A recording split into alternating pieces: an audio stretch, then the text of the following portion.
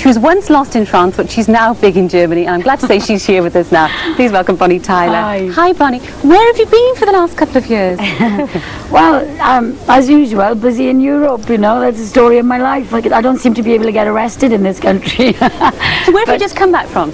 well, um, Vienna, night before last, sang to over 50,000 people there, you know.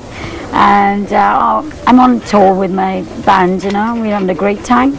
So where have you been altogether? I've been on tour for the last uh, three months. I've been to all over Norway, which is absolutely gorgeous in this kind of weather. You know, to see the fjords and it's just beautiful place. Uh, I I spent um, some time in Germany. I did a three weeks Germany, um, Austria, uh, Finland, all over Europe. You know. It's amazing, and I heard that you know your your latest album, which hasn't been released here yet. I have to have a word with you about that. Um, it was it enjoyed incredible success in Norway. Yeah, it's gone quadruple platinum in parts of Europe, you know. And I was number one for 12 weeks in the album charts and the singles charts over there. Michael Jackson had to settle with number two. Oh, nice to hear. Why? What should the appeal that your voice has to the people abroad that they don't seem to have in this country? It's strange. I, I really don't know, but I'm ever so glad they do. yeah. Wait, is it that they, they like rock music? Is it that they like women singers or what? Well, um, I, I, I think um, they tend to like husky voices, you know. And um, fortunately for me, I've got a very husky voice, you know. But uh, the the album is going to be released in this country. It's just that I'm I'm signed to um, BMG, which is um, their main office is in Germany. So I, I'm signed to the top, and they get first choice of release, you know, of, of the albums and singles. So uh, my single has just been released here, called Where Were You, and the You'll be hearing it in a minute, follow. of course. Yeah. But, you know, you're Swansea born and bred. I mean, you consider Swansea to be your home. What's Mm. it like having to spend all this time on the road? Um, actually, I better correct that because they're all in Skewen are going, she's not from Swansea, she's from Skewen. yeah, but I've been living in Swansea for 20 years. Oh, from Skewen. But of course, yeah, the, well, sorry, what forgot the rest? No, I, you know, what's it like being on the road all the time? I just love it. I thrive on it, you know, because um, there's nothing like being on stage live with a band. And um, I, well, I, I'm, I'm, I'm, not, I'm booked now up until uh, the 18th of au- uh, August. Sorry, August. And then I'm going for a three-week uh, holiday. God. So, and then I'm back in the studio after that then to record a new album. Well, what I don't understand is, you know, when you're away uh, on the road, how do you account for all your creature comforts? I mean, what makes you feel really, really at home? I know your old man travels with you, so that must account for a lot. Oh, that's a big comfort, yeah. But um, I always take my tea with me because you can never get a decent cup of tea, can you? When you go abroad, it's it, oh, terrible, and I, I love a good cup of tea, so I always take my own tea. And what do your family make of it? You know, when they come back and say, who's this stranger's just walked into the house? Oh, in my family, you know, they're very, very, we're very close family. And like yesterday now, um, the weather was gorgeous and my father cooked the lunch and we're out there having it on the lawn, you know, and um, the, the children are running around. Not my children, my nieces and nephews, you know. And it's just great, you know. It's, it's like I switch off. As soon as I come home, I'm Gaynor again, you know, and it's just, it's just lovely. I love what I do. That's why I've been around for such a long time, you know. My first hit record was 16 years ago. And my audience, like today, you see the, the, the, the around here, um, the little kids and the, you know, from 16 to 60, you know.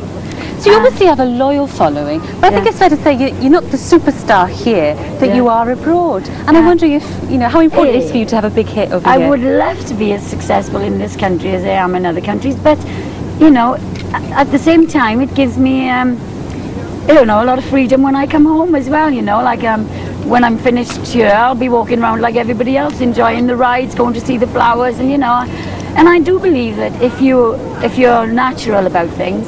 Uh, and you don't walk around with half a dozen bodyguards. People will just leave you alone, and it's, it's nice to see you, but they don't they're not going to mob you, you know what I mean? Uh, and so uh, I can just enjoy my life the same as everybody else. But if a chance came to appear on top of the pops and maybe get mobbed once or twice in Britain, you I've wouldn't turn on it down, quite would a few times, and I'd Yeah. love to be on it again if you're listening, you know.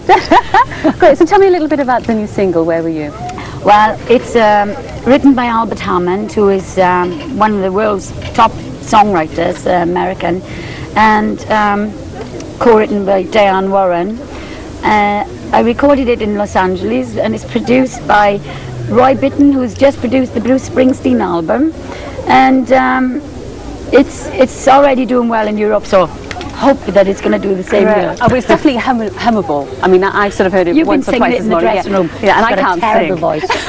well, I have to ask you now, one last thing before you go off and sing. Um, do you like chocolate?